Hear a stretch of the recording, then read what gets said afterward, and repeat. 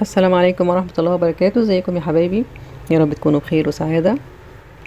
الفيديو النهاردة إن شاء الله عن إزاي أقدر أزين الأطباق بتاعتنا بوردات جميلة كده من الطماطم. آه هنشوف مع بعض وأتمنى لكم مشاهدة ممتعة. أدي عندي الطماطم. بتنقي وحدات كده من الطماطم تكون آه جامدة شوية ما تكونش طرية وبتغسليها وبتبدأي بسكينة رفيعة زي ما أنت شايفة إن إحنا نمشي شرايط رفيعة كده حوالين الطماطماية كلها لحد النهاية. طبعا حجم الطماطماية هيحدد لك حجم الوردة اللي انت هتعمليها. عايز كبيرة قوي هتنقي طماطماية كبيرة بس هو بيفضل الطماطم الصغيرة بتديكي وردات صغيرة شكلها جميل قوي. طبعا اللي طالع عن قلب الطماطم ده كله جمعيه في كيس في الفريزر تقدري تنزلي بيه في الشوربة أو أي حاجة.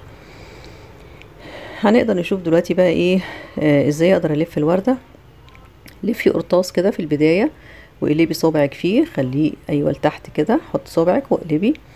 الوردة هتطلع شكلها من هنا بقى. هتلفي كده حوالين بعضه. زي ما انت شايفة. سهلة جدا وبسيطة. لحد النهاية. وآخر حتة بنخليها قاعدة تحت الوردة من تحت. شايفين؟ قدرنا نعمل أهي وردة التانية. تعالوا بقى نعمل واحدة كمان ونزود التركيز شوية. هتقطعي بالشكل ده وتلفي بالراحة وتطلعيها رفيعة مش تخينة عشان تقدري تتحكمي فيها وانتي بتلفي. لفي بقى شرايط رفيعة.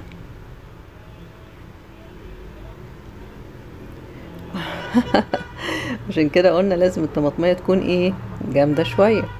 الطماطمايه دي خدعتني وكانت فيها إيه حتة طرية شوية. يعني شوفي بقى ركزي. بنحط كده وبنلف بنلف.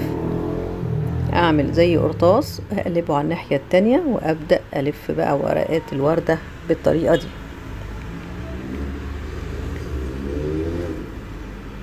إيه رأيكم؟ شايفين؟ بتبقى قاعدة على الحتة النهاية دي. عملنا أجمل وردات. إن شاء الله في الفيديو اللي جاي هنشوف عملنا إيه بالوردات دي وزينا بيها إيه الأطباق اللي عملناها.